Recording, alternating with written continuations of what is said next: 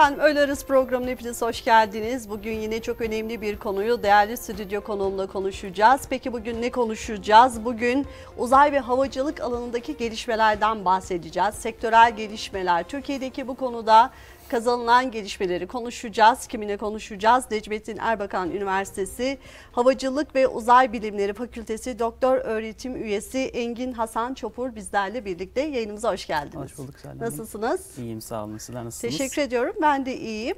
Evet bugün bu konuları sizlerle konuşacağız. Çünkü güzel gelişmeler var, heyecan verici. Hem de Türkiye'nin yeni göz bebeği olan e, milli e, gelişmeler var. Bunları da konuşacağız sizinle ama öncesinde biraz sizi tanıyalım mı? Tabii ki. İsmim Engin Hasan Çopur. Ee, şu anda Necmettin Erbakan Üniversitesi e, Havacılık Uzay Bilimleri Fakültesi ve Uzay ve Uydu Mühendisliği'nde e, öğretim üyesi olarak çalışıyorum. Evet. Doktor öğretim üyesi olarak. E, 2017 yılında bu göreve başladım. Ağustos 2017'den beri de e, aynı bölümde, aynı fakültede devam ediyorum.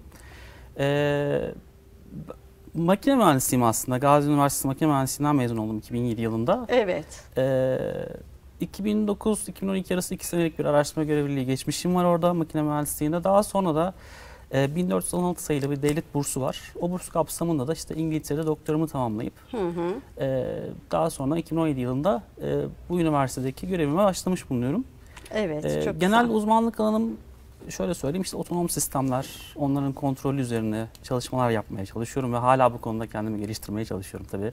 Mesleğin başındaki bir Biraz da mecbursunuz. Sürekli E, değişen tabii, bir yani sektör, gelişmeler Aynen var. öyle. Ona bir adapte olmak lazım. Ee, hızlı gelişiyor sektör zaten. Doğru. Daha, daha doğrusu bu otonom sistemler her alanda artık kullanılmaya başlandı.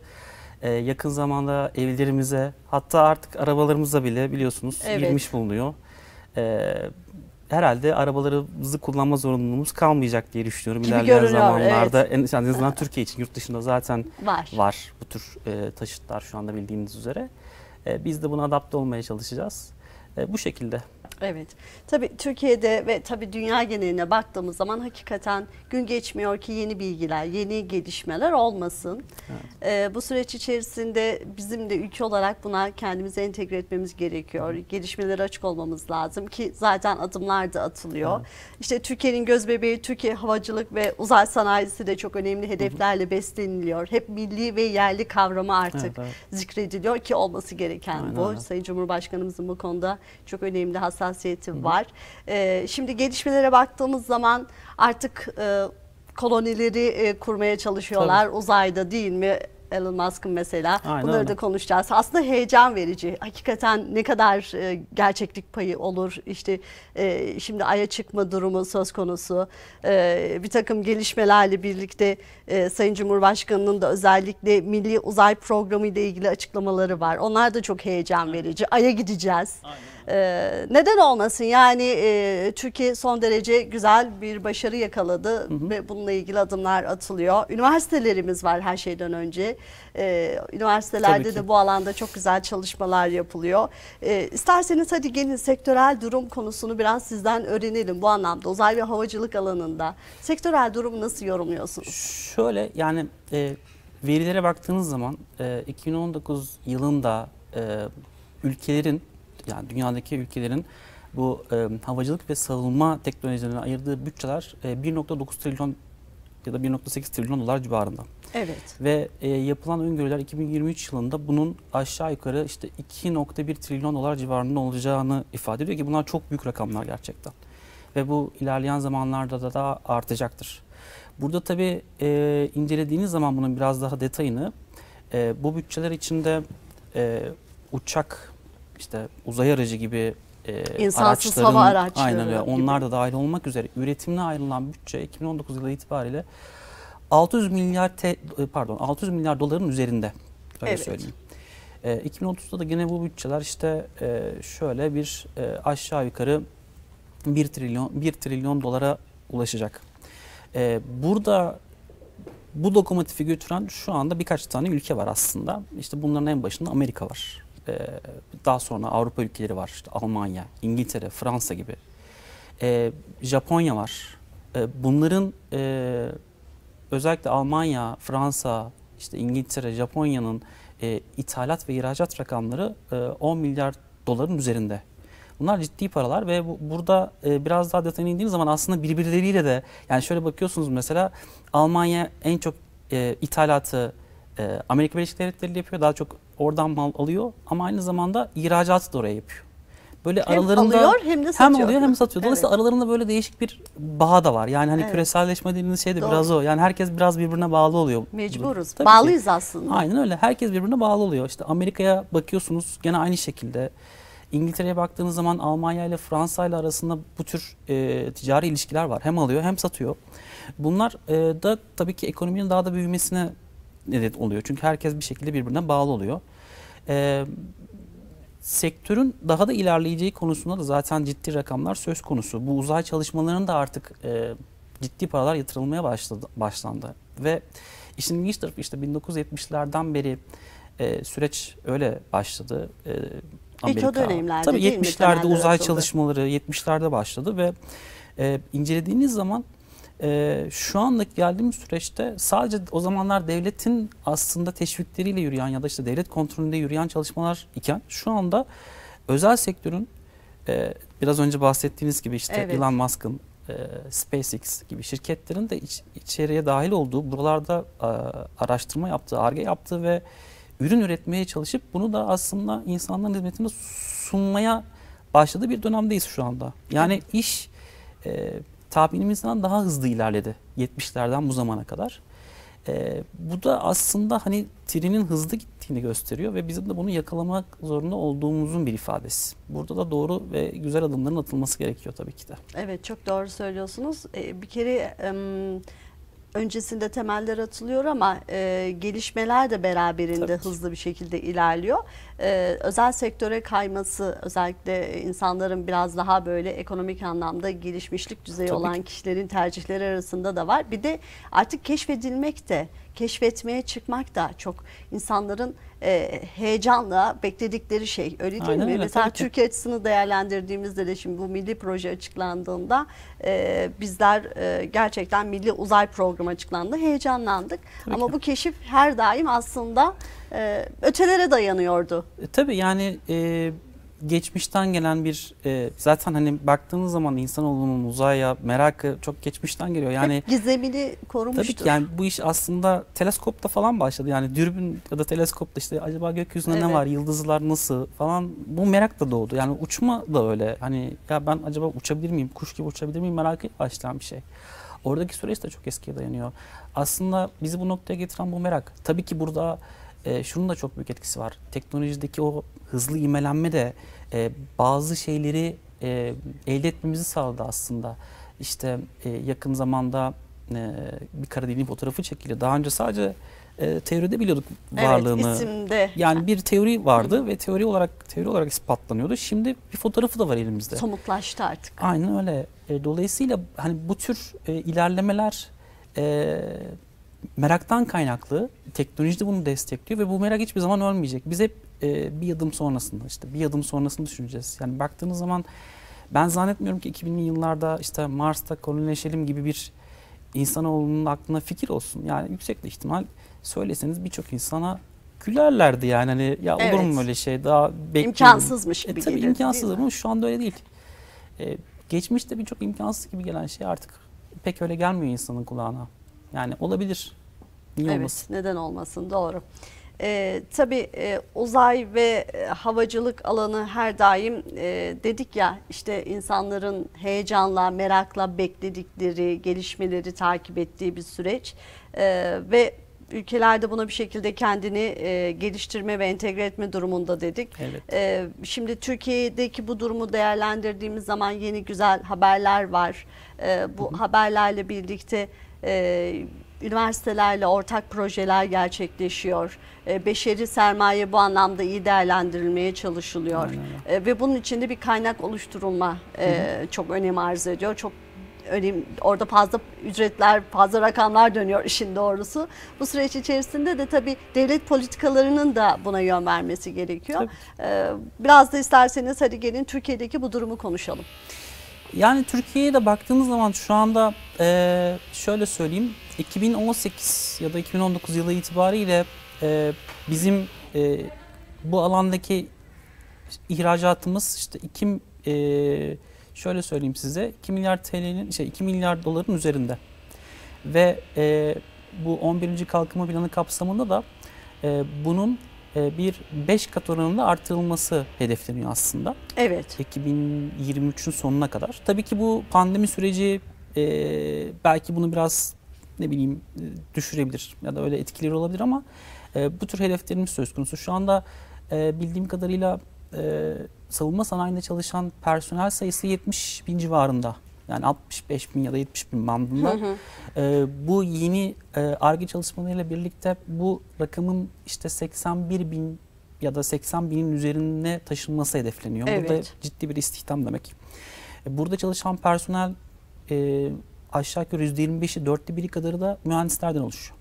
Burada da ciddi bir arge faaliyetinin olduğu e, söylenebilir. E, dolayısıyla e, Türkiye olarak bizim buradaki e, hedeflerimiz e, daha da büyüyor, daha da büyüyecektir. Hani Hı biraz hı. önce bahsettiğimiz gibi çünkü iş çok hızlı gelişiyor. E, burada e, koyduğumuz hedeflere olabildiğince hızlı bir şekilde ama sağlam adımlarla ulaşıp ondan sonra bir sonraki adım, bir sonraki hedefi koymamız gerekiyor.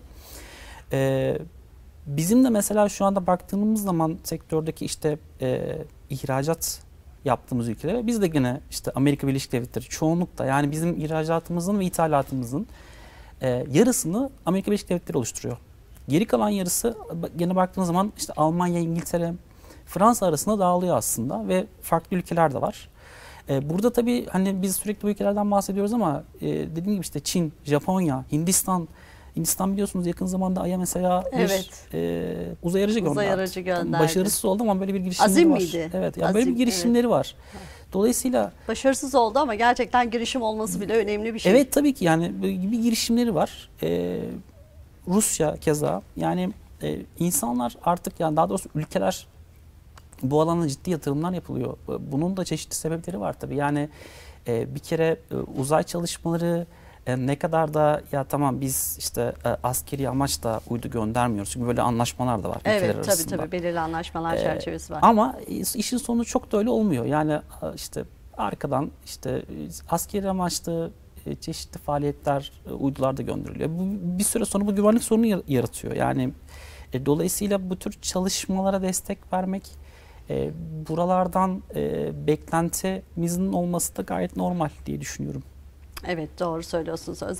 Türkiye'de özellikle uzay araştırmaları faaliyetlerinde dünyada her ne kadar geri kalmış olsa da e, uzay ajansları konusunda belirli yeteneklere göre belirli gelişmeler var.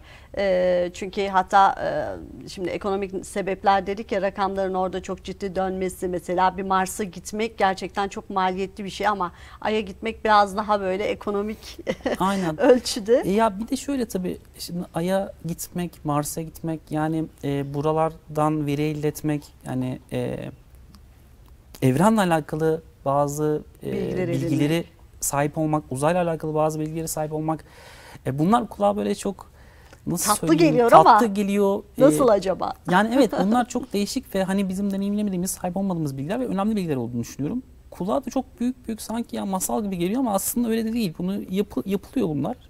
Dediğim gibi yapılabilir, yapılmaz diye bir şey yok ama yeter ki işte adımlarımız e, düzgün ve doğru bir şekilde olduğu sürece yapılamayacak hiçbir şey yok diye Kesinlikle öyle. Doğru söylüyorsunuz. Ee, zaten bu noktada e, artık e, kesinlikle adım atmak gerekiyor ki Türkiye'de önceden bir soğuk savaş dönemi vardı malumunuz.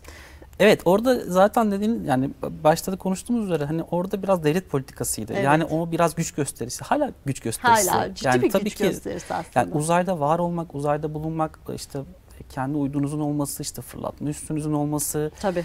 e, işte Uzay uzay, çalışmalarının mesela. olması. Evet yani bu tür oralarda faaliyetlerde bulunabilmek bir güç gösterisi. Yani işte ben de varım, e, ben de buralarda bir şey yapabiliyorum e, deminin bir yöntemi, bir yolu ve güçlü bir yolu yani. E, Dolayısıyla buralarda bulunmaya çalışmak gayet doğal. O zaten olmamız gerekecek. Kesinlikle. Çünkü şu anda farkındaysanız işte Mars'ta kolonileşmekten bahsediyoruz. Evet, evet. yani o orada bir noktadayız artık yani. Evet gerçekten de öyle. Ee, özellikle bu uzaylı insan e, insanlı uzay uçuşu değil mi? Fırlatma yet- e, tekniği onlar zaten çok maliyet Hı. gerektiren uyduların yine yapımı Ee, ve Tabii çok- coğrafi koşulların da aslında o fırlatma tekniğine uygun olarak planlanması. Tabii tabii yani şöyle mesela şu anda işte teknoloji nasıl gelişiyor? İşte çok maliyetli.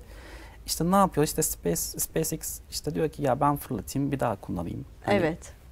Roketim ya da işte şeyim e, fırlatmadan sonra yok olmasın ben onu kullanabileyim diyor. Dönüştürüp. Evet, Dönüştürüp kullanabileyim diyor. doğru. Yani bu tür işte e, hedefler de aslında sizin teknolojik olarak ilerlemenizi sağlıyor öyle söyleyeyim. Tabii. Bu arada uzay çalışmaları sadece hani oradaki o sistemden ziyade işte internet ağının genişlenmesi değil mi? Veri paylaşımının daha çok artması, e, takip gibi özel güvenlik alanlarında da çok e, büyük önem taşıyor. Doğru. Yani bizim e, şöyle söyleyeyim e, şu andaki iletişim e, internetteki iletişim ağımız e, genelde fiber optik kablo- kablolar üzerinden gidiyor kıtalar arası döşenen. Ve Evet. Fiber optik üzerinden gidiyor. Şu anda evimizde kullandığımız birçoğumuzun evinde kullandığı internet zaten fiber, Fiber optik, optik üzerinden. ağlardan e, geçiyor. E, işte şu anda e, Starlink projesi kapsamında işte Elon Musk'ın mesela e, bu tür e, uyduları koordineli bir şekilde sayısı binin üzerinde hatta yani on binin üzerinde olan e, uyduları koordineli bir şekilde işte dünyanın etrafında e, yörüngeye oturtup oradan da işte bütün dünyaya bir e, internet hizmeti sunma gibi bir fikri var. Bunun böyle bir ideali var. Burada da işte çalışmalar yapılıyor.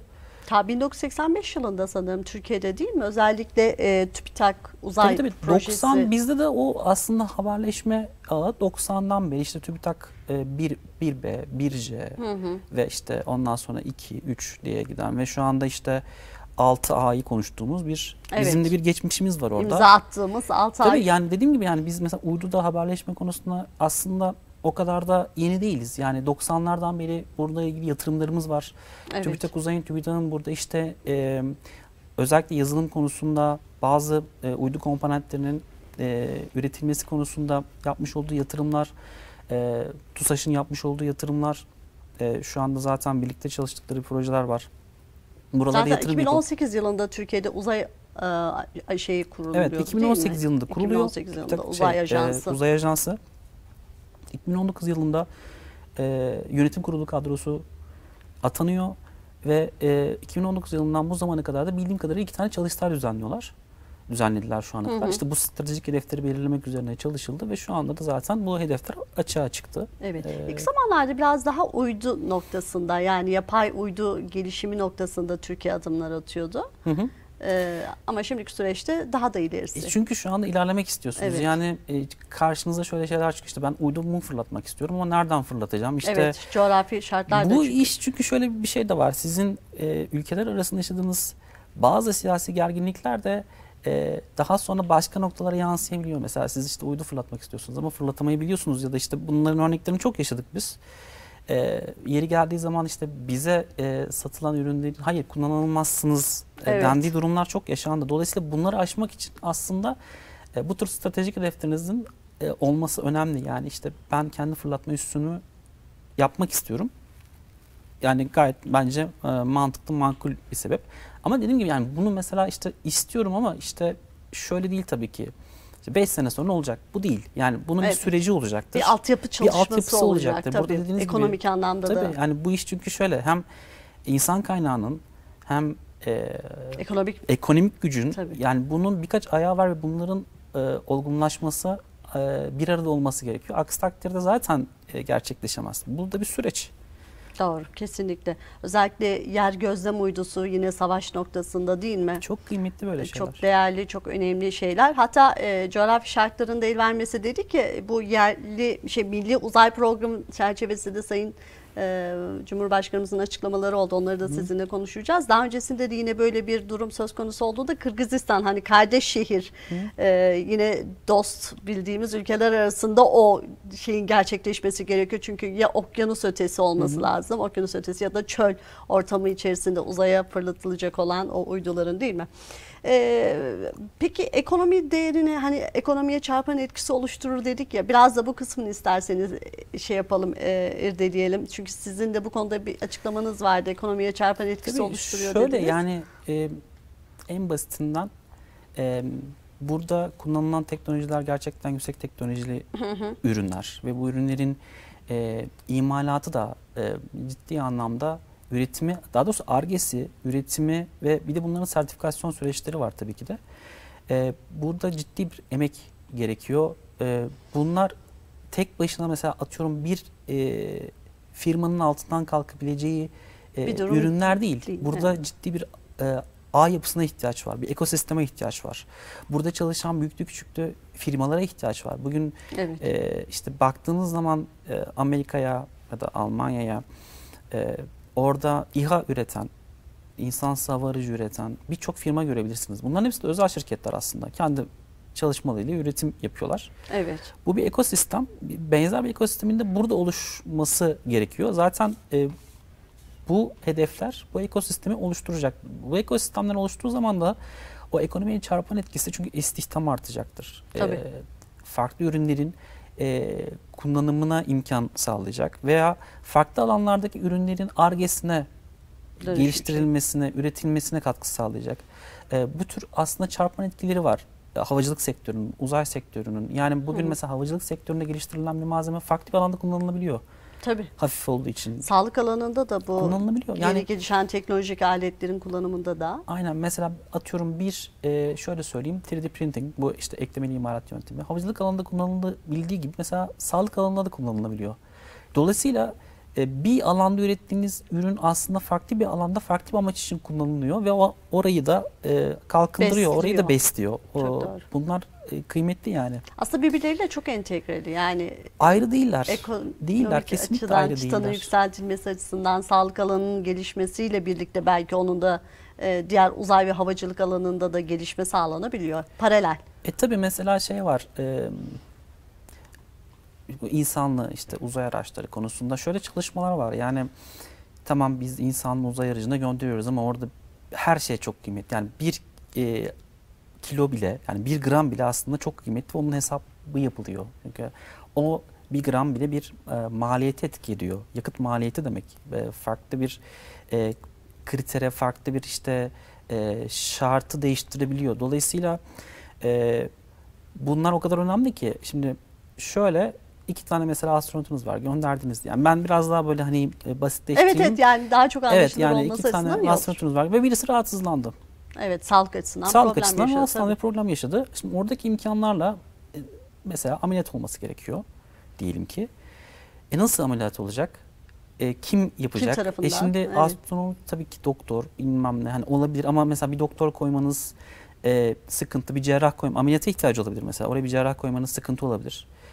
E, ya da mesela e, şimdi e, farklı farklı cerrahi alanları var. Yani e, oradaki bir cerrah farklı bir alandaki bir hastalığın e, müdahalesi için yeterli bilgi birikimine sahip olmayabilir. Dolayısıyla zamanında şöyle çalışmalar yapılmış mesela. Biz dünyadan bir robot vasıtasıyla dünyadaki mesela bir Evet. e, atıyorum cerrah e, o taşıttaki bir e, hastayı e, müdahale edebilir mi? Bir hastaya müdahale edebilir mi? Şimdi böyle çalışmalar var mesela. E, o e, çalışmalar belki şunu tetikledi işte o robotik cerrahi robotiği tetikledi. Yani hani bu böyle e, çok birbirine Birbirleriyle girift, bağlantılı. Evet. bağlantılı etkileri oluyor yani öyle söyleyeyim.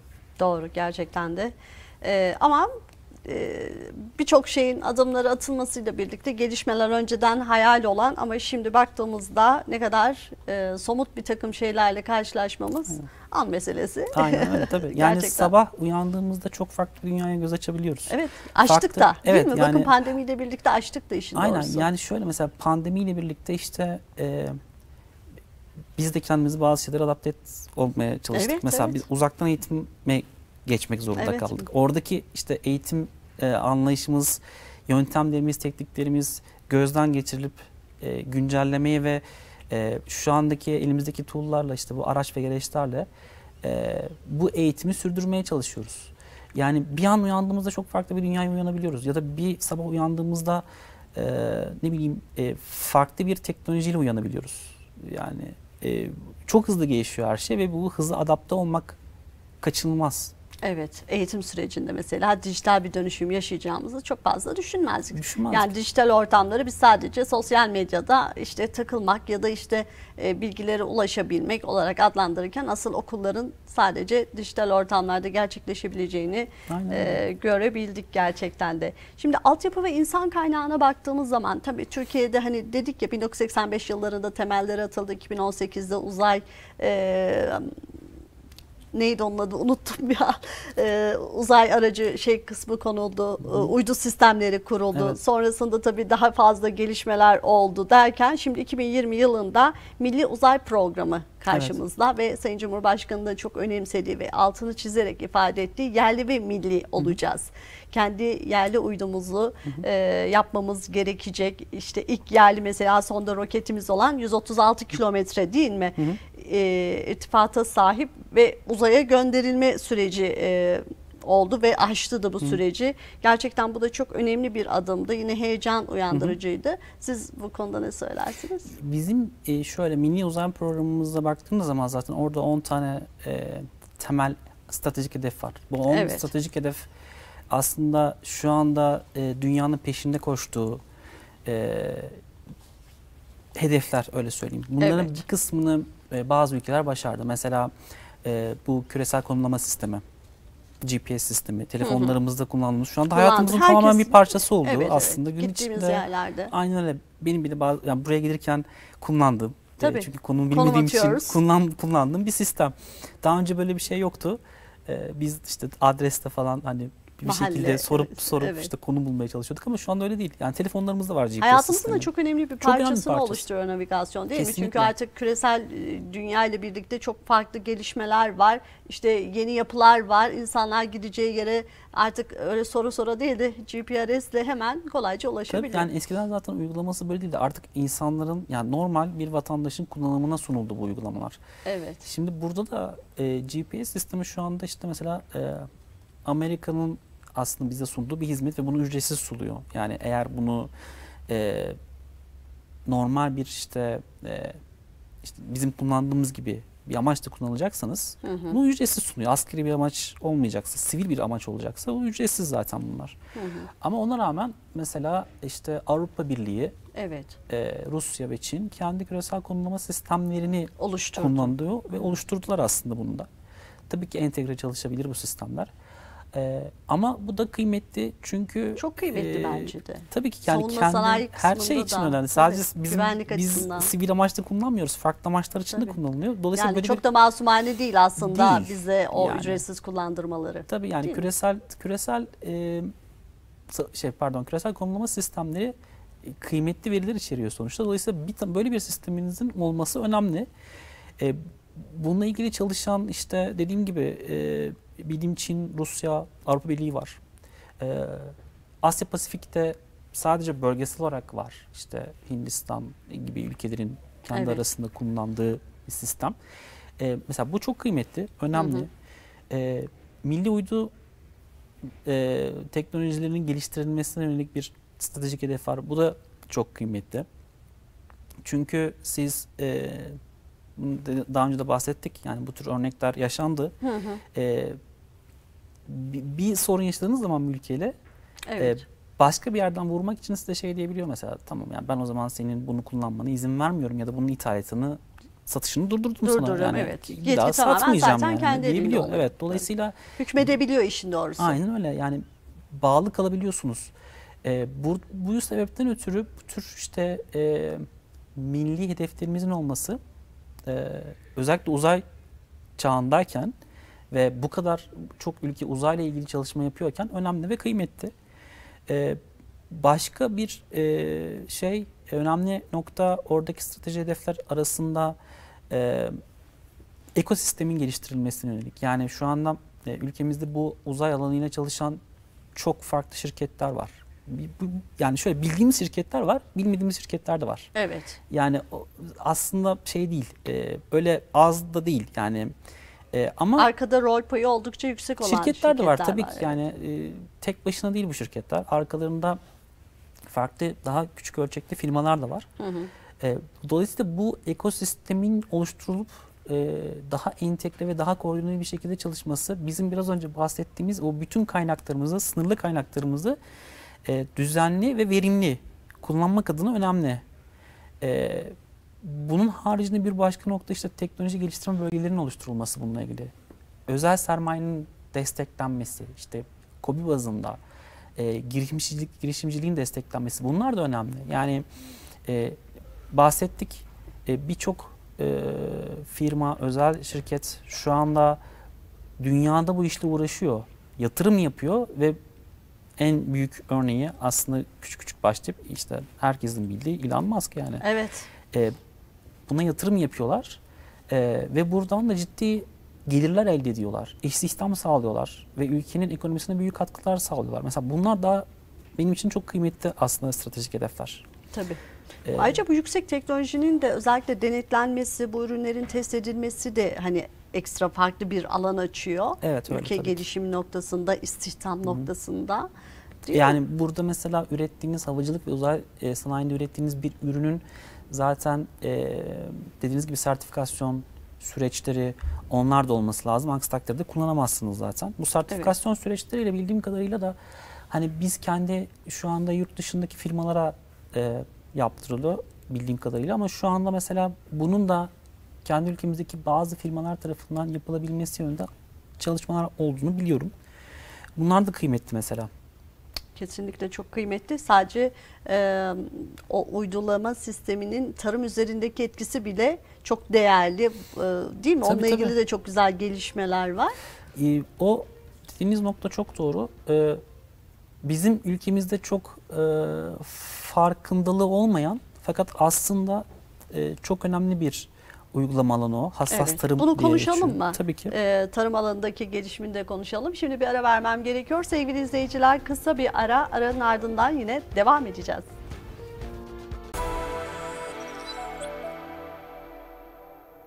Evet öğle arası kaldığı yerden devam ediyor. Uzay ve havacılık üzerine sohbetimiz Zengin Hocam'la birlikte. Şimdi tabii hocam e, yeni gelişmeleri bizler sevgili izleyicilerimize anlatmaya devam ediyoruz. Burada da özellikle yine Milli Uzay Programı konusunu isterseniz biraz konuşalım. E, hatta Sayın Cumhurbaşkanı 2023 yılının sonunda değil mi kendi yine milli ve özgün hibrit e, roketimizle birlikte Ay'a ulaşabileceğimiz konusunda bir takım açıklamaları oldu. İlk fırlatmayı da yine uluslararası ilişkiler e, çerçevesinde gerçekleştireceğini söyledi. Evet. E, Bu da çok önemli bir adım işin doğrusu. Tabii bunlar aslında prestij yani işte Evet. Ay'a gidebilmek yani şey gibi e, algılanabilir belki ya işte gerek var mı Ütopik. yok mu ya da yani Evet. dediğiniz gibi ütopik yani masal gibi ama aslında değil. Yani bu bu tür e, çalışmalardan elde edilecek veriler Tabii. e, bilim adam bilim insanları için gerçekten Tabii. çok kıymetli Bir oluyor. kere dünya pazarından da çok önemli bir kar elde ediyorsunuz. Yani orada pay alma çok önemli bir süreç hem ülkeler açısından. Elbette. Türkiye için de çok önemli bir prestij dediğiniz Elbette. gibi. Yani bu şöyle bir şey zaten. Siz e, Ay'a bir ya da ne bileyim e, herhangi bir gezegene ya da uzaya bir e, araç Hı hı. gönderebildiğiniz zaman Hı hı. e, bu bir taraftan da şunu söylüyor. Ya benim bunları yapabilecek teknolojim var. Tabii. Yani dolayısıyla bu da size farklı kapılar açabiliyor. Tabii. E, dedim ben bir kere söyledim. rekabet gücünü ortaya koyuyor Tabii tabii yani doğrusu. aynen öyle rekabet gücünü ortaya koyuyor. Evet. Bu sahnede ben de varım ve bu pastadan ben de pay almak istiyorum diyorsunuz. Ee, biraz önce bahsettik işte rakamlardan. Pasta e, büyük Dilimi, ve evet. e, neredeyse %30'luk kısmı zaten hani Amerika tarafından e, Çok iyi kullanılıyor. kullanılıyor. E, burada biraz önce de bahsettim. Yani e, da ilk programın ilk kısmında işte Almanya, e, İngiltere, Japonya, Almanya, evet. şey pardon Amerika, Japonya bunlar hem birbirlerine yani birbirleri ticari ilişkileri var. Hem birbirlerine mal satıyorlar, birbirlerinden mal alıyorlar. Böyle bir e, canlı orada ekonomiyle var. Dolayısıyla buranın içinde bulunmak e, Ciddi bir, önemli. evet. E, bunun için bir hedefinizin olması lazım.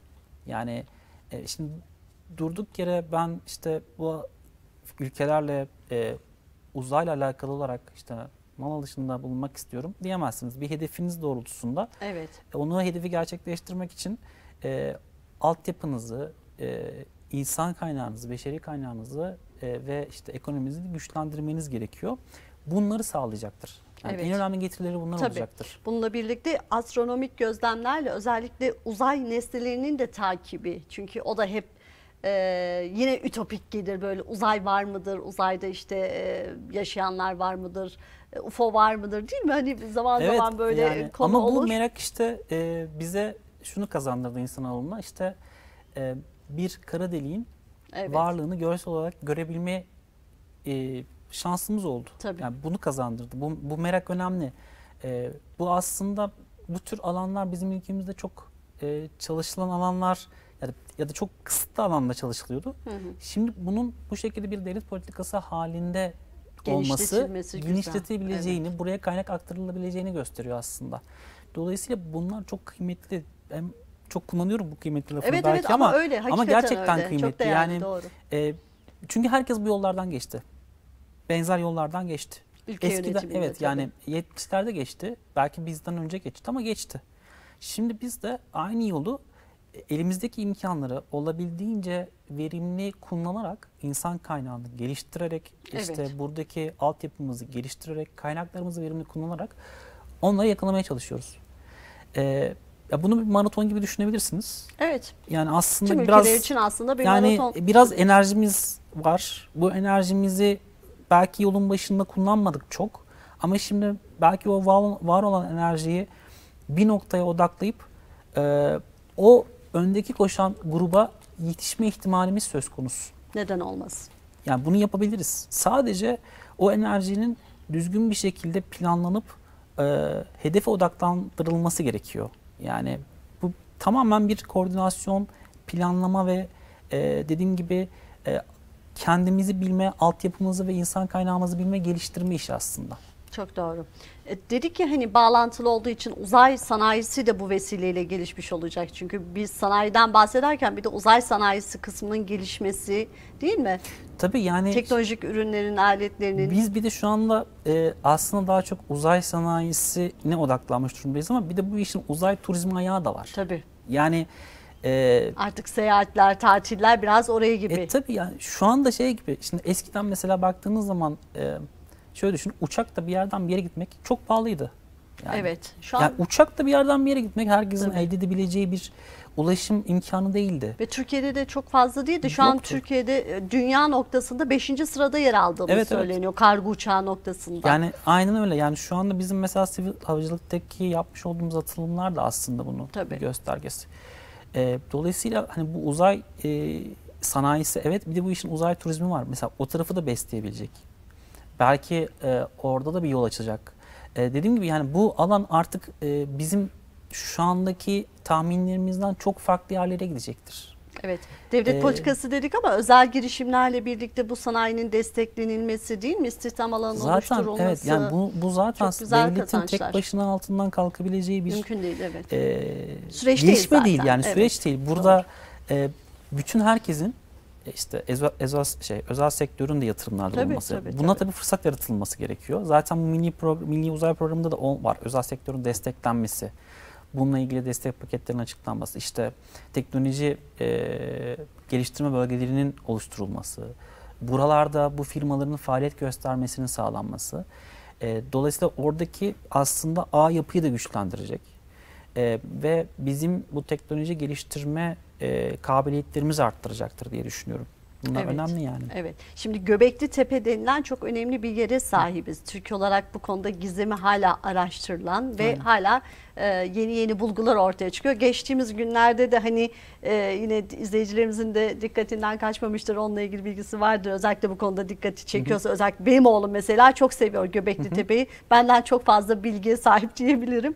E, monotoli dediğimiz yani gökyüzünde ayı görmek. Orada da böyle bir sembol niteliğinde bir baktılar ki e, Göktürk e, alfabesinde e, böyle bir şey karşılığı buluyor. Gökyüzüne bakan e, gökyüzüne bak ayı gör. Bu slogan da aslında güzel. Gökyüzüne bak ayı Evet. gör. E, bu da mesela dikkat çekiciydi. Hani bir anda öyle bir ibarenin orada görülmesi e, monolitte dediğimiz şeyin görülmesi e, öncesinde planlanmış bir şey ama e, yine bir gizem var. Orada işte gökyüzüne bak ayı gör de yine uzayla, uyduyla Bizim buradaki İlintili. yapılmaya çalışılan şey işte toplum olarak bu uzay ve havacılığa farkındalığının artırılması, yönünde. evet. Bu bu da çok önemli. Ee, ben hatırlıyorum işte 2007'de mezun olduğum zaman bu kadar konuşulmuyordu. Yani tabii Evet. ki vardı çalışmalar ama daha böyle e, bu kadar göz önünde değildi. Değildi evet. Bunun bu kadar göz önünde olması insanların ya da gençlerin özellikle bu alanlara ilgilerinin olması işte bizim o ihtiyacımız olan e, aslında insan kaynağımızı da sağlamamıza sebebiyet veriyor. Çünkü oralara yöneliyorlar. Şu anda baktığınız zaman işte e, gençlerin çoğu e, bölüm seçerken aslında istediği bölümü seçmeye çalışıyor en azından. Sevdiği. Sevdiğini, sevdiği bölümü bulmaya, aslında sevdiği alanı bulmaya çalışıyor hı, ve ilgi onunla duyduğu. ilgili bölümü seçmeye çalışıyor. Yani öyle bir hedefi var birçoğunun ve bununla ilgili araştırmalar yapıyorlar. Yani işte üniversitelerin bölümlerinin sitelerine girip oradaki hocaları inceliyorlar. E, telefon açıyorlar. İşte ben e, yazmak istiyorum. Bölümünüzle ilgili bilgi verir misiniz? Ne yapıyorsunuz? Tabii. Hatta şu sorular geliyor. Mesela Teknofest'e katılan ekipleriniz var mı diye. Yani o kadar o, O kadar o kadar ilgili. ilgililer ve e, o kadar irdeliyorlar aslında bölümde ne yapıldığını. Bu arada siz de Teknofest'e katıldınız. 2018 miydi? E, bir 2018, 2019, 2018, 2020 2020. yıllarında Teknofest'e katıldık. Yani Hı hı. buralarda çeşitli dereceler de aldık. E, ama yani bu ilginin olması aslında güzel bir şey. Elbette. E, dolayısıyla ben hep şunu söylüyorum. Mesela Milli, e, Milli Uzay Programı'nda da var. İnsan kaynağının geliştirilmesi. Burada e, üniversiteler e, de de bir e, şey var. Ağ kurulacaktır yüksekte ihtimal. İşte oradaki sanayi ve üniversiteler. Çünkü Tabii üniversite ayağı son derece. Evet yani çünkü orada yetiştirilecek insan kaynağının da yönlendirilmesi gerekiyor. Yani bence e, bizim e, hızlı ilerleyebilmemiz için işte o sektörde ihtiyaç duyduğumuz ya Tabii da sektörün ihtiyaç duyduğu personelin yetiştirilmesi. Dolayısıyla o ihtiyacı karşılayabilecek personelin yetiştirilmesi gerekiyor. Orada da tabii ki e, sektörle bir organik bağımızın, iletişimimizin olması gerekiyor. Bu Milli Uzay Programı'nda da sanırım bu iletişim ağı daha da güçlendirilecek, daha da evet. genişletilecek. Doğru. E, dolayısıyla biz de kendimizi oradaki ihtiyaçlara göre güncelleyip, geliştirip e, bu alanda ihtiyacımız olan Hı hı. insan kaynağını yetiştirmeye çalışacağız. Yani bize bize de burada düşen sorumluluklar var. Evet, Herkese tabii, düşen tabii. sorumluluklar olduğu gibi üniversitelere de düşen sorumluluklar var. Bu programı zaten şöyle algılamak lazım aslında. Bu sadece işte birkaç firmanın ya da devletin tek başına başından kalkıp altından kalkabileceği, üstlenebileceği ve başarıya ulaştırabileceği bir program değil aslında. Burada Hı. herkes e, bir şeyler öğrenip üstüne düşen sorumlulukları yerine getirmek gerek yani yerine getirmesi gerekir diye düşünüyorum. E, anca zaten bu şekilde e, başarılı, Yol ulaşılabilir, yol alınabilir diye Tabii düşünüyorum. çok yani. doğru söylüyorsunuz gerçekten. Şimdi gençler demişken gençlerden de devam edelim. Çünkü şimdi uzay ve havacılık mühendislikleri değil mi? Böyle bir bölüm de zikrediliyor. Havacılık bölümü zikrediliyor. Var zaten. Evet şu anda zaten Hı hı. e, YÖK'ün bir çalışması olmuştu son zamanlarda. Benzer bölümleri aslında tek çatı altına toplamak gibi işte uçak mühendisliği, Evet uçak mühendisliği. e, işte havacılık ve uzay mühendisliği gibi ondan sonra e, işte havacılık elektrik ve elektronik Havacılık bölümleri gibi böyle gibi. bölümler var Hı hı. aslında havacılık yönetimi. Bu havacılık yönetimi daha çok işte bu sivil havacı taşımacılığı, işte kargo işletmeciliği üzerine olan e, yer hizmetleri, Evet. e, o alanda ihtiyaç duyulan personel yetiştirmeye aslında e, yönelmiş durumda. Diğer bölümler işin daha teknik ayağında Evet. diyebiliriz. E, bu tür bölümlerimiz var. E, bizim şu anda fakültemizde de aslında zaten uçak mühendisliği bölümümüz var. E, faaliyette olan havacılık yönetimi bölümümüz var. Ve e, bu sene e, öğrenci aldığımız e, uzay ve uydu mühendisliği programımız var. E, dolayısıyla şu anda 3 tane programımız var bu alanda. E, elem, şey, bizim de işte istihdam sağlamaya çalıştığımız, bilgilerini Evet. çalıştığımız, işte ülkenin bu e, kalifiye eleman ihtiyacını karşılamaya yönelik eleman yetiştirmeye çalıştığımız 3 tane bölümümüz var. Nasıl ilgi öğrencileri? Yani şöyle söyleyeyim, e, her üniversite sınavından sonra bu tercih aşamasında bizim telefonlarımız susmuyor. Sürekli öğrenciler arayıp ya öyle böyle bir bölüm var, e, bu bölümde ne yapıyorsunuz diye soruyorlar. Dediğim gibi yani öğrenciler eskisi gibi değil artık. Öyle Daha söyleyeyim. farkındalıkları yüksek değil mi? Tabii daha farkındalıkları yüksek araştırıyorlar. Yani e, açıkçası ben de hani birisi bana şuraya yazayım buraya yazayım mı diye sorduğu zaman aynı önerilerde bulunuyorum. Yani bölüm sitesine Olması girip gereken. Evet. oradaki hocalara bakıp e, kim ne yapıyor irdeleyip eğer hoşuna gidiyorsa e, araştır, yapılan araştırmalara bakıp hoşuna gidiyorsa yaz diyorum zaten. E, dolayısıyla artık öğrenciler özellikle gençler daha farkında olayın. Hatta liseye inmiş durumda onu da söyleyebilirim. Yani ara ara e, lise öğretmenlerinden mailler alıp işte böyle böyle bir topluluğumuz var, grubumuz var, yarışma grubumuz var ki biliyorsunuz Teknofest'te Evet. bu artık gruplar Çok ilkokul güzel bir rekabet haline geldi. Tabii tabii ilkokul seviyesine inmiş vaziyette. Evet. Ee, bizim böyle bir işte topluluğumuz var, yarışma grubumuz var. Ee, biz sizden bilgi almak istiyorlar falan diye e, mail atıyorlar, iletişimde olmaya çalışıyorlar. Ee, bu güzel bir şey yani lise seviyesinde bunlara ilgi duymak, Evet. ve bu tarafta kendine bir e, yol çizmeye çalışmak önemli yani. Bizim o işte insan kaynağımızı eksik olan insan kaynağımızı kapatmak için e, gerekli yollardan yollardan bir tanesi de bu zaten. O Evet. farkındalığın olması lazım. Kesinlikle zaten robotik kodlamayla birlikte aslında bunun temelleri atılıyor değil Aynen mi? öyle. Çünkü çocuklarımızın, o miniklerimizin kendi yetkinliklerini geliştirmelerinde, kendilerini yetiştirmede, ilgi duymalarında onların biraz da Aynen. hayal gücü biliyorsunuz çok çok, Çok yüksek. yüksek ve çok değerli. Onlarla birleştirdiğinde güzel sonuçlar çıkıyor. İşte Aynen. temeller böyle atıldığı zaman sonrasında daha iyi basamak basamak Aynen yani bu bir tohum atmak gibi Evet, aslında. atmak yani gibi. çünkü e, şöyle düşündüğünüz zaman e, gerçekten eğer geçmişten gelen bir ilgi varsa insanoğlunda onunla ilgili mesela daha çok bilgi öğrenmek istiyor. Daha merak çok duygusu okuyor. geliştiriyor aslında ülkeleri de Tabii ki merak da. duygusu. Çok önemli yani o. E, Çünkü e, bu sefer gençler bununla ilgili e, bir şeyler okuyorlar ve bir şeyler öğreniyorlar. Ve şu an hani daha önce de ilk kısmında söyledik ya çok hızlı her şey. Bilgiye ulaşmak da eskisi kadar zor değil. Evet. Yani artık bir Fırsat eşitliği noktasında belki bilgiye ulaşmak hakikaten orada e, bir fırsat eşitliği diyebiliriz. Evet, evet. Çünkü insanların artık avucun içerisinde bir internet var. Tabii e, doğru kaynağa, doğru bilgiye ulaşmak çok önemli. yani e, bir telefonda şu anda girip e, baksanız e, Evet. birçok alanla ilgili çok farklı Bilgiye bilgilere ulaşabilirsiniz. Evet şimdi yine bir ara vermem gerekiyor. Zaman çok hızlı hakikaten. İkinci bölümümüzde bitirdik. Son bölümde yine sizlerle birlikte olacağız.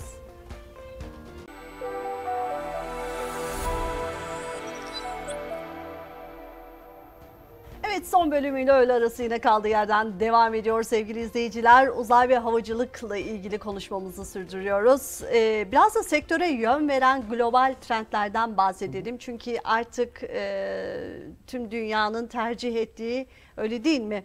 E, sıfır yakıt hava araçları Aynen söz konusu çok popüler. E, bu da son trend aslında. Biraz da bu süreci konuşalım. E, şöyle e, ba- baktığınız zaman aslında dünyaya yön veren 5 ya da 6 tane mega trend diyebileceğimiz trend söz konusu. Bunlardan bir tanesi aslında iklim değişikliği. Evet. O da zaten direkt bu sıfır yakıtla çok ilintili. Bilintili, evet. E, bir diğeri hızlı şehirleşme. Şu anda bildiğiniz gibi artık insanlar aslında kırsal kesimden bir e, Kent. kente göç etme durumunda. Bunun çeşitli sebepleri var işte ekonomik e, ya da farklı farklı sebepleri. E, bu ama dünyanın her yerinde yaşanan bir süreç.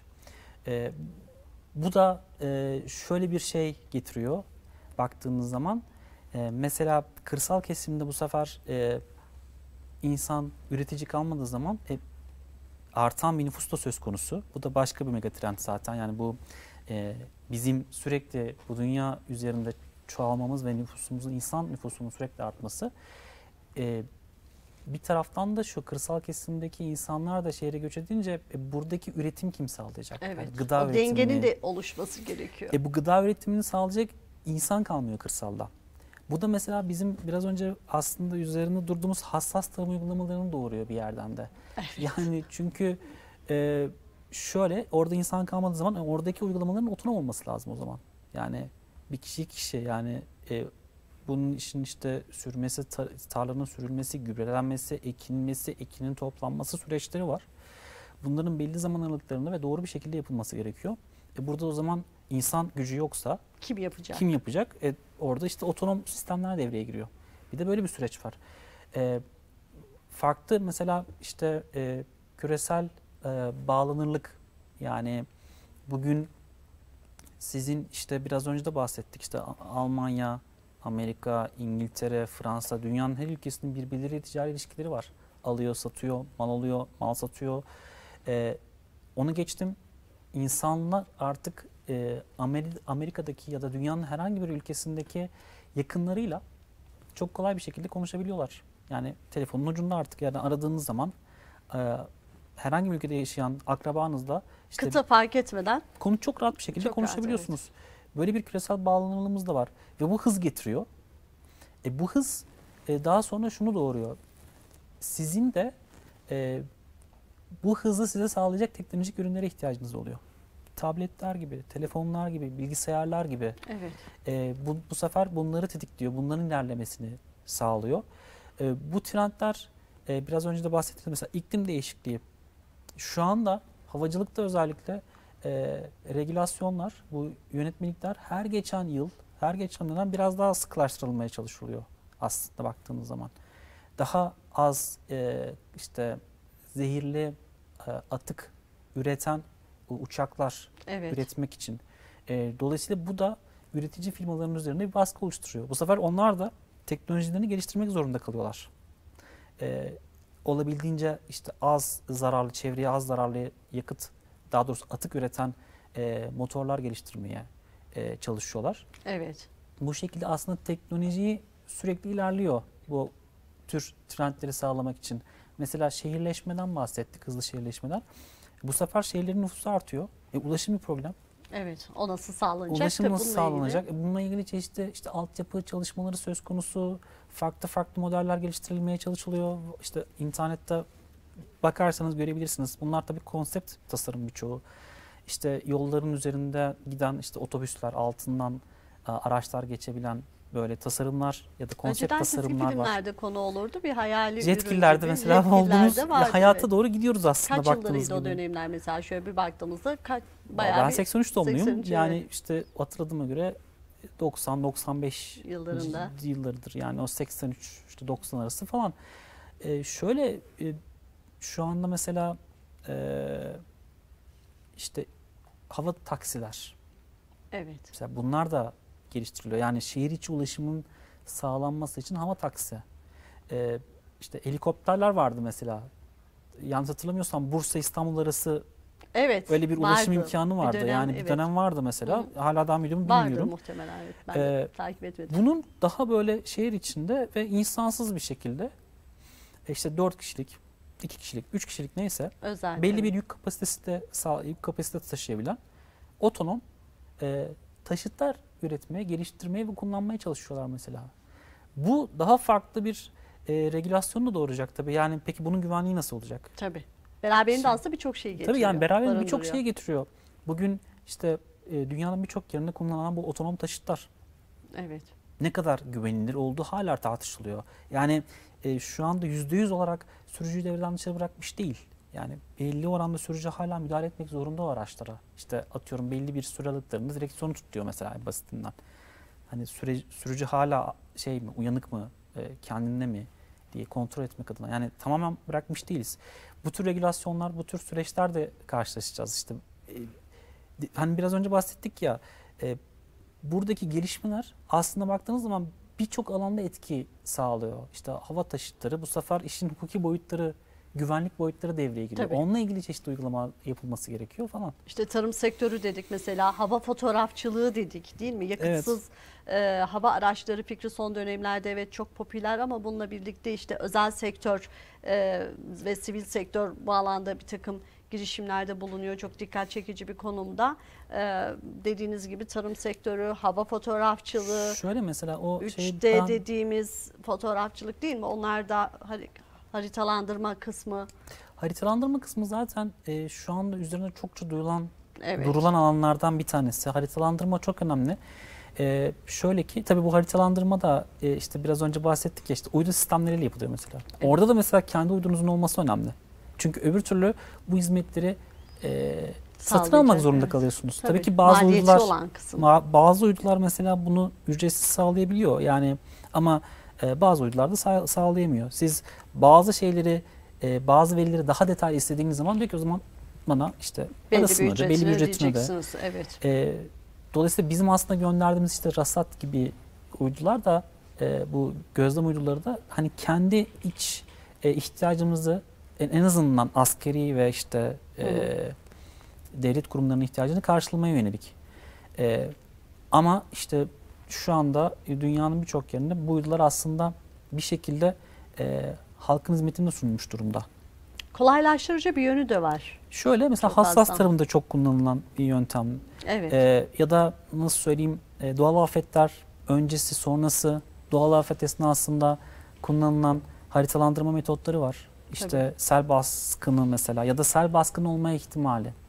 Hatta Öncesi hı hı, doğru e, planlamayla birlikte daha verimli ürünü elde etme de mesela. hassas tarımda öyle tabii ki. Yani şöyle o onlardan belli dönemlerde e, veri toplayıp yani uzaydan çünkü görüntüsünüzü çekebiliyorsunuz tarlanın. Evet. belli dönemlerde veri toplayıp daha sonra o ve- veri analizi yapıp ki burada işte şu anda çok meşhur olan işte yapay zeka algoritmaları falan da kullanıyorlar. Daha doğru veri almak için. Evet. Ee, dolayısıyla o haritaları daha sonra çiftçiyle paylaşıp bunun hizmetini sunan firmalar var bu arada. Yani Tabii, tabii, çiftçi var. bunu işte tek başına yapmıyor mesela bunun hizmetini sunuyor.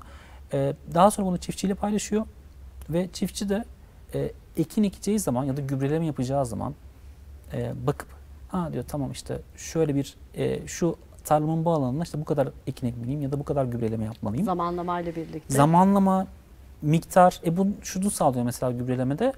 E, sizin fazla ya da az gübreleme, gübreleme yapmanızı engelliyor. Bu da e, verimi arttırmanızı sağlıyor. Çünkü fazla gübreleme yapmadığınız zaman toprağa zarar veriyorsunuz, çevreye zarar veriyorsunuz. Tabii. Az yaptığınız zaman da bu sefer gerekli verimi elde edemiyorsunuz. Daha az verim elde ediyorsunuz. Dolayısıyla bunları engelliyor aslında. Yani çarpan etkisi Aslında dediğimiz çok şey fazla. çok Her fazla. Yani burada belki saymak da bitmez.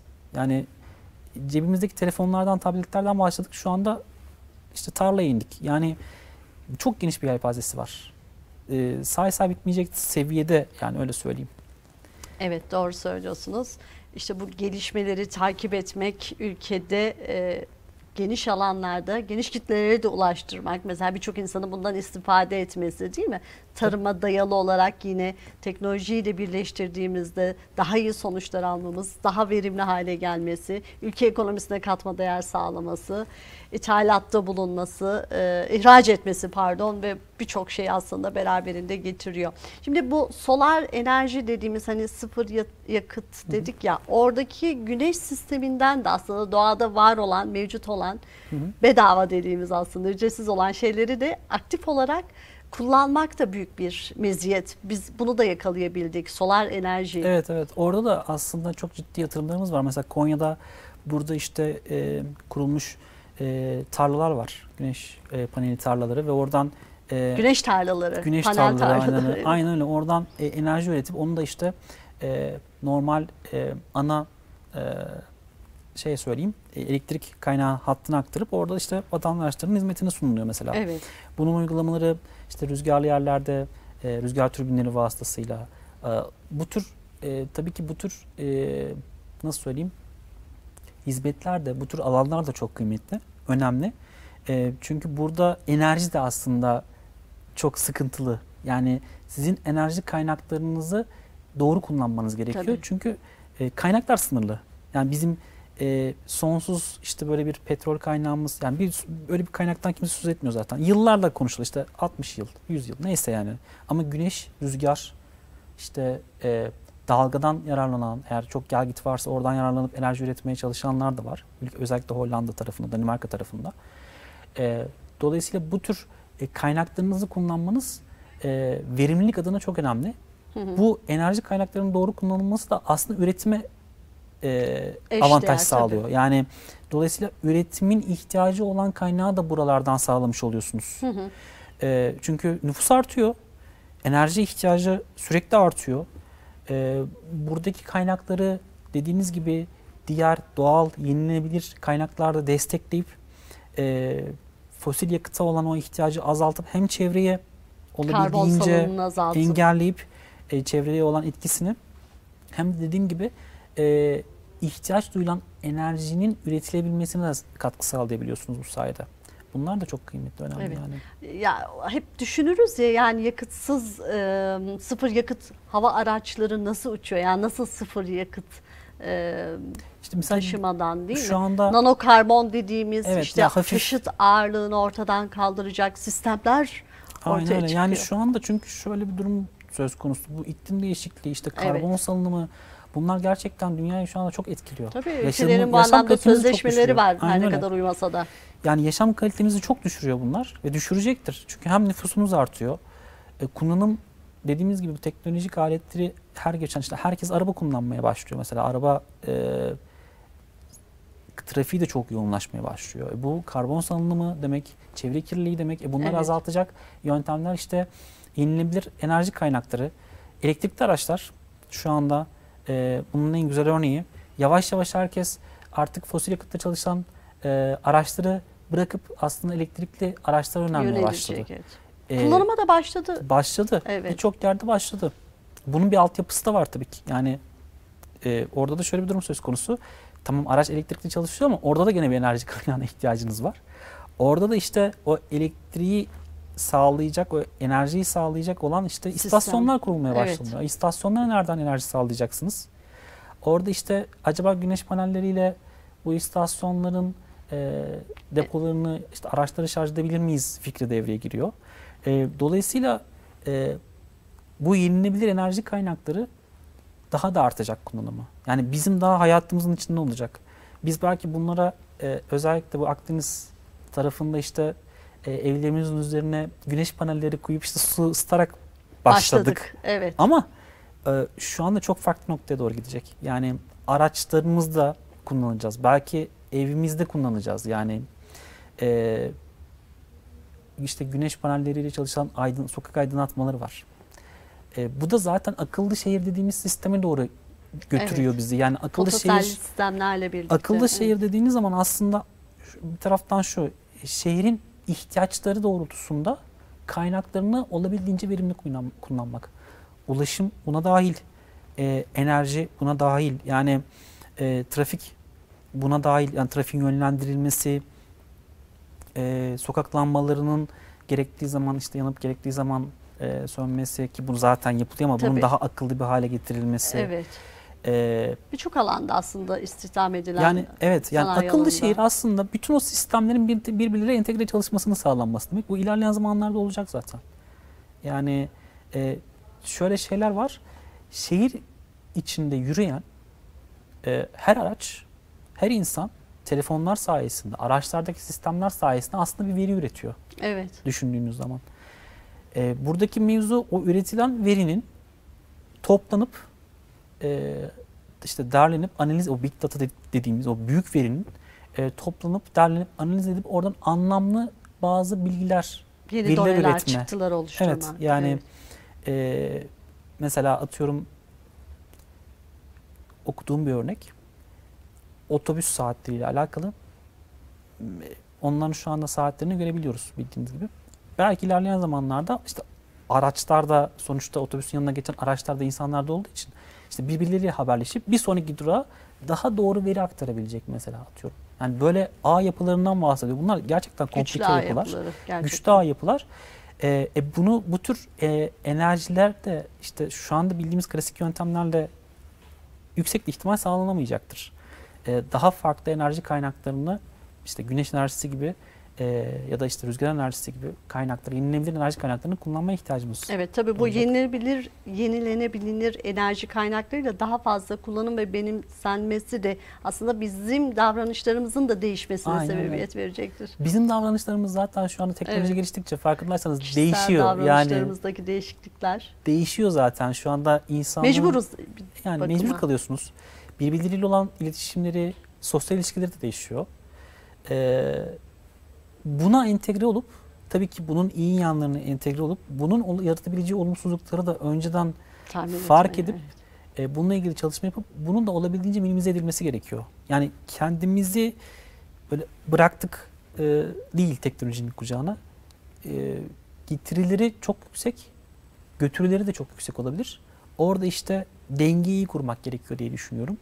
E, bununla ilgili ciddi işte çalışmalar da yapılıyor. İşte teknoloji bizi nereye getiriyor? İnsan ilişkileri nasıl etkileniyor? teknolojiyi Gençler- sağlıklı bir şekilde Aynen öyle. kullanabilmek ama bizi de tamamen esir almasına müsaade etmemek. Etmemek aynen öyle. Hani o şu anda e, şöyle söyleyeyim. E, son iki yıl içinde baktığınız zaman trilyondan fazla data üretiliyor. Yani Evet. sizin sosyal medyaya girip e, orada bazı faaliyetlerde bulunmanız en basitinden telefonunuzda ya da internette e, bir veri üretiyor aslında baktığınız zaman. E, burada e, dünyada birçok yani bu teknolojiyi kullanan insanları düşündüğünüz zaman Hı hı. üretilen verinin haddi hesabı yok. Tabii. Bunların bazıları doğru bazıları yanlış. Buradan işte o ayıklamayı doğru yapabilecek insanlar da gerekli bize. Yani o okumayı doğru yapabilecek insanlar da gerekli. Bu mesela çok değerli. Bununla ilgili de e, çalışmaları yapılıyor, yapılacak, yapılmaya devam edecek diye düşünüyorum yani. Çok doğru söylüyorsunuz. Hatta bu ısıtmayla ilgili olarak da ulaşım ve e, ısıtma sistemindeki elektrifikasyon denilen bir sistem de varmış. Bunun da yenilebilir e, enerjiyle birlikte e, daha fazla kendini göstereceği konusunda da bir takım bilgiler var. Yani aslında hayatımızın her alanına dahil olacak ve son trendler arasında aslında yenilenebilir Çünkü enerji. evet çünkü iklim değişikliği zaten megatrendler Evet. arasında. E, Onun insanlar şu anda insanoğlunun önüne geçmeye çalışıyor. E, burada en büyük dayanaklarından bir dayanaklarından bir tanesi de yenilenebilir enerji kaynakları. Evet, küresel elektrik üretiminin %85'i e, yenilenebilir enerji kaynaklarından sağlanacak bilgisi de artık Aynen e, son derece önem taşıyor. E, kullandığımız her şeyin, tükettiğimiz her şeyin artık tüketici bir toplumdan ziyade e, evet ihtiyacımız olanı tabii ki tüketeceğiz belli bir şekilde ama onun tekrar geri dönüşümünü sağlayıp gelecek nesillere yine daha onların yaşayabileceği ortamlar da Aynen kazandırmak gerekiyor. Burada da kişisel farkındalıklarımız, davranışlarımız Çok şekillenecek. Hayata bakış açımız biraz daha farklı olacak. Doğayla daha iç içe yaşanabilir bir hayat bizi bekleyecek. Son olarak kaç dakikamız kaldı sevgili yönetmenimden hemen öğrenim 2 dakika. Evet e, neler söylersiniz son olarak e, gençlere özellikle şimdi siz de çok gençsiniz. Bu anlamda çok güzel başarılı işler yapıyorsunuz. E, beşeri sermaye çok önemli Türkiye'miz için. Gençlerin de bu alanda uzay ve havacılık alanındaki e, ilgileri, merakları e, pekişsin diye arzu ki. ediyoruz. Sizin burada o genç arkadaşlarımıza söylemek istediğiniz neler olabilir? Yani e, genç arkadaşlar için şunu söyleyebilirim. E, havacılık ve uzay e, Bir gizem. bir gizem. Gerçekten bir merak konusu. E, ve bununla okudukça aslında e, ben eminim ki daha fazla bilgi edinmek isteyecekler. Bu işin içine daha fazla girmek isteyecekler. Çünkü uçsuz bucaksız bir derya ve e, öğrenebilecek çok şey var. E, hiçbir zaman tamam artık bitti ve bundan sonra daha ileri gidemeyiz e, denilebilecek nokta değil. Hep Evet. bir sonra aşaması, hep bir sonra aşaması. Bundan önce biz uçmaya çalışıyorduk, uçtuk. Tamam bir de uzaya çıkalım. Şimdi uzaya Uçuyoruz. çıktık. tamam uzaya da çıktık. E şimdi e, gezerin bir tanesinde yaşayalım diyoruz mesela. Ya bunun bir sonu olmayacaktır. Hep bir sonraki, hep bir sonraki ve her seferinde de böyle farklı insanların kafasına soru işareti yakıyor. E, dolayısıyla genç arkadaşları bu alanda e, daha çok okumaya ve hani Araştırmaya. araştırmaya teşvik etmek yani en azından e, ne bileyim internete girdikleri zaman okudukları bir şeyle ilgili ilgilendikleri zaman hani havacılıkla ilgili uzayla ilgili bir şeyler okuyacakları da daha fazla böyle meraklarının kaparacağını, artacağını artacağını düşünebilirim. Evet. Söyleyebilirim bunu. Çok teşekkür ediyorum. Çok sağ olun verdiğiniz bu güzel bilgilerden ben dolayı. teşekkür ederim. Sağ olun. Evet sevgili izleyiciler böylece öğle arası programımızın sonuna geldik. Bugün uzay ve havacılık alanında bilgileri sizlere aktarmaya çalıştık. Türkiye'nin bu konumdaki gelişmeleri ve dünya çapındaki diğer gelişmeleri süremiz el verdiğince sizlerle paylaşmaya çalıştık. Necmettin Erbakan Üniversitesi Havacılık ve Uzay Bilimleri Fakültesi Doktor Öğretim Üyesi Engin Hasan Çopur'la birlikte. Yarın saatleriniz 12'yi gösterdiğinde ben yine sizinle birlikte olmayı seçiyorum. Lütfen kendinize ve sevdiklerinize iyi davranın. Hoşçakalın.